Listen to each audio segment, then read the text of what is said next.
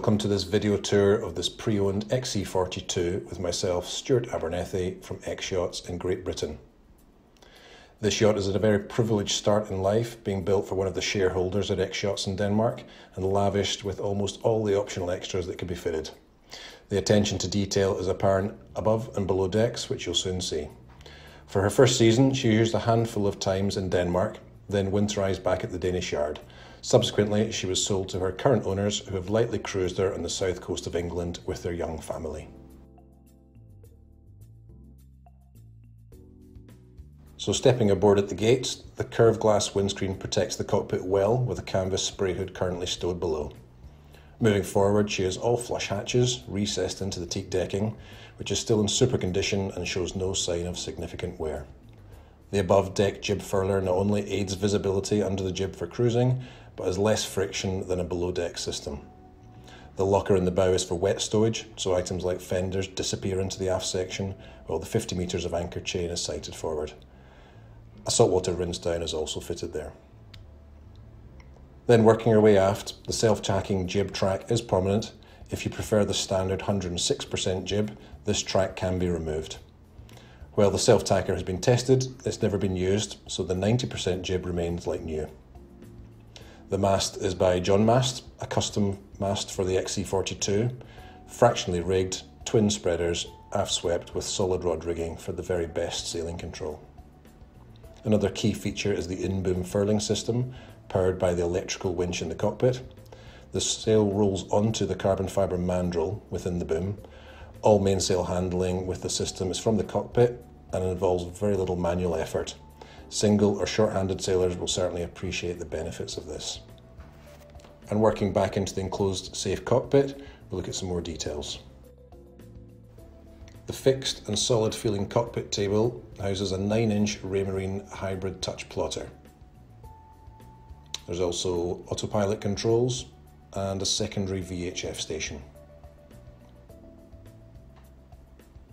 A nice upgrade over the standard yacht is the engine and bow thruster controls move from low down to up on top of the binnacle for easy manoeuvring in tight harbours. And the engine start stop and transom door controls are mounted within the recess. All the winches are by Andersen, full stainless steel. The primaries are 58 self-tailing and the main sheet and halyard winches are the 46 version. There are two Raymarine A75s in the garage with a remote control from the cockpit table. There are minimal jammers due to the in-boom furling system requiring less running rigging. This port halyard winch is powered. And moving aft, you see a glimpse of the sexy black GRP helming system, the hydraulic backstay adjustment, and of course the essential gin and tonic seats. And below the waterline, she's been copper coated in 2019 so this will have many years of hassle-free life left. As the thruster retracts into the hull, I can tell you about the sail inventory. All are by North Sails, 2014. They're fully batten main and 106% jib are in the best North 3DI material and in very good condition. The 90% self-tacking jib is virtually unused. She also comes with an A3 asymmetric with Karver top-down furling system. The draft is 2.1 metres on the L-shaped keel. She has a sail drive system with three blade folding propeller and a rope cutter fitted. The transom of the yacht is in the open position for stern to mooring or boarding by dinghy, and it's moving to its sailing position closed. Just visible above that are the removable stainless steel davits for the dinghy.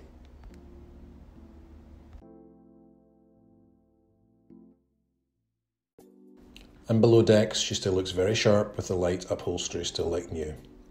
For spending time aboard, the extensive storage will not go amiss. The 520 litres of fresh water in tankage below the cabin sole means the space under the port saloon seating is available. Varnish is in exceptional condition with barely a blemish anywhere, all in teak with a satin varnish finish. The starboard saloon seating is a nice fold down table with a drink stowage behind this is also long enough to use as a sea berth.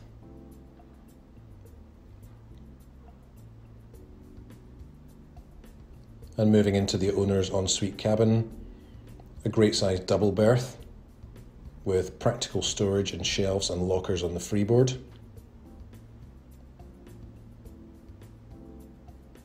There are nice X-Yacht hull windows which let more light in and are super when at anchor. The heads is a good size and fitted with an electrical Jabsco marine toilet linked to a 55 litre gravity release holding tank. There's even space for a dedicated showering area with a folding splash screen and automatic shower pump out system.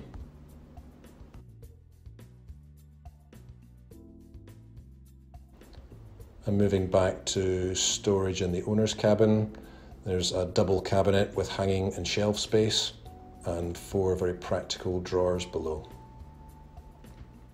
A nice detail is a stainless steel protection on the woodwork. The cabin sole is very hard wearing and has a teak and holly fill detailing. And working her way back into the saloon, she has four 130 ampere AGM batteries located under the starboard seating, powering all but the main engine.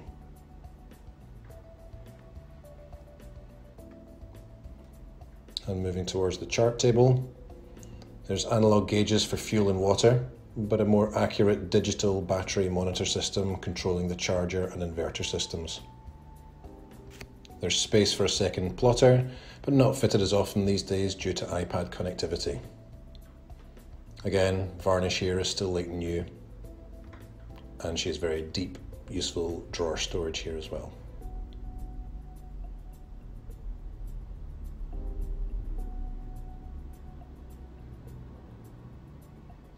The aft heads compartment is also a shower, and again the heads is electrical and connected to another 55 litre holding tank. The starboard aft cabin has the cockpit cushions and a spray hood stowed neatly. Good general storage on shelves and in a hanging locker. Also one of the outlets for the Eberspacher diesel heating system.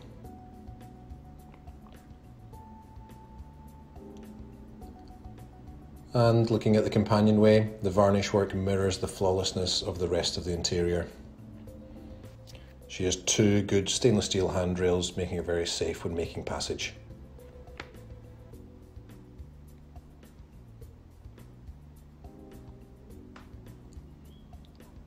The galley is in a very practical U shape and has excellent deep storage.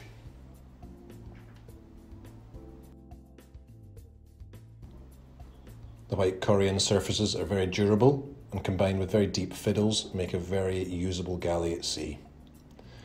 Along with the microwave and deep 140 litre chest fridge, she has a double sink with a second tap for salt water. The optional front opening fridge has also been fitted. On the cabin sole, you can see a black manual pump for the fresh water as well.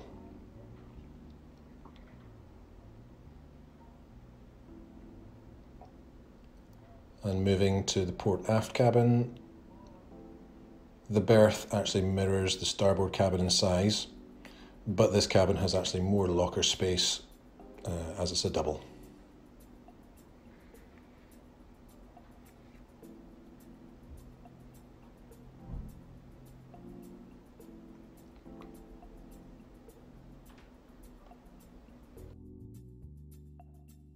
And panning back to the saloon, and I'll delve a little deeper into some of the more technical aspects of X-Yachts by looking into some of the systems and access.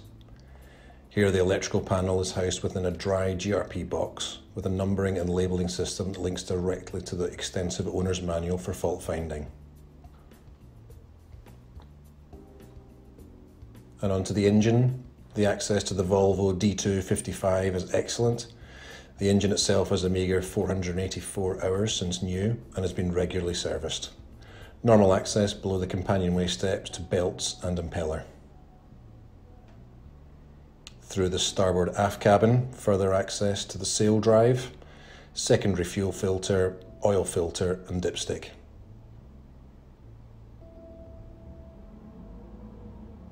The tunnel behind the engine is where the generator can be mounted, but in this yacht it's currently further storage. All around the engine bay, the soundproofing and vibration dampening is first class. It's fully airtight with forced ventilation. The access from the port cabin is the electrical elements of the engine and the raw water intake valve. Further dedicated access for the raw water filter and primary fuel filter are here, all with dedicated lighting throughout.